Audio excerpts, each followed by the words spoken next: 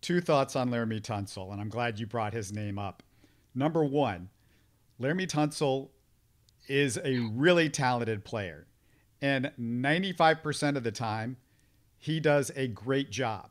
But I've seen too many mental mistakes. I've seen too many times where he's trying to do somebody else's job instead of his own job. And that's just in these first couple of games, but we saw it in the past as well.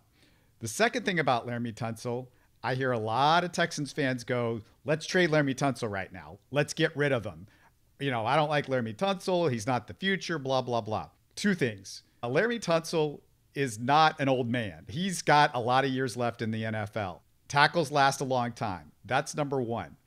Number two, if you trade Laremy Tunsil right now, he's still doing a lot of great things for you. He makes life a lot better for your struggling quarterback that it would only be struggling more if he was feeling pressure because Charlie Heck or Tytus Howard is over there playing left tackle. The second thing is, you know, you're not only would you not have him this year and not have a, a, a probably a starting caliber left tackle this year, but you go, okay, well, we'll get one in the draft next year. Well, that's a learning curve. So you're talking two, three, four years down the road. Why?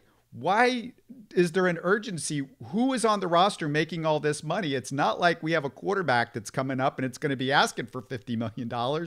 We don't have a lot of talent anyway.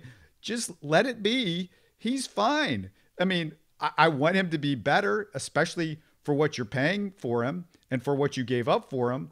But that's more on the old regime. That's not Laremy Tunsil's fault. So I don't understand that narrative at all, as much as I get frustrated with Laremy Tunsil at times. I'll just say this. I mean, look, fans will fan. Um, and that's one of those overreaction uh, type things. Now, if he was traded in the offseason, I don't think we were, would have really blinked twice at it. It's acquiring draft capital, it's shedding a large amount of money um, on your payroll. And of course, um, you know, those things can be kind of tricky depending on what you're getting in return and dead money and how much you're going to have to pay another team to take somebody off your hands. I don't know. You know, depends on the kind of deal that you're getting. But I just don't think if that would have happened in the off season that it would would have really hit home. I mean, it's like okay, you know, I mean that's uh, millions and millions of dollars that are off the books, and it's in year one of a rebuilding year. But there's the key: it's really year one of the rebuilding year, not the teardown anymore. Last year was just last year. You had that guy coaching this team, and it was just an utter disaster.